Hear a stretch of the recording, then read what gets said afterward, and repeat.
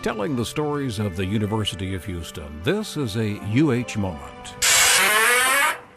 That's the sound of industry partnership and sustainability sitting at the corner of Waugh and Hyde Park. This is a pair of shipping containers that we purchased and retrofitted to become sales offices for our client. The college's Joe Meppelink. This project is part of the College of Architecture's Green Building Components, the research initiative to design and implement sustainable, renewable building components for the architecture, engineering, and construction industries. Sustainability is economic, social, and ecological responsibility and with sustainable building components as integers of construction that are more efficient solutions to generic problems in the market.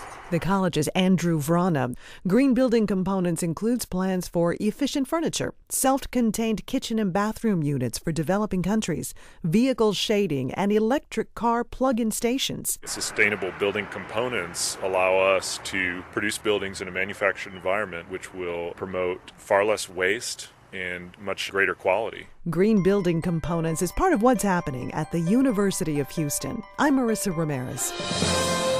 Telling the stories of the University of Houston, this UH moment is made possible by KUHF, a listener supported radio from the University of Houston.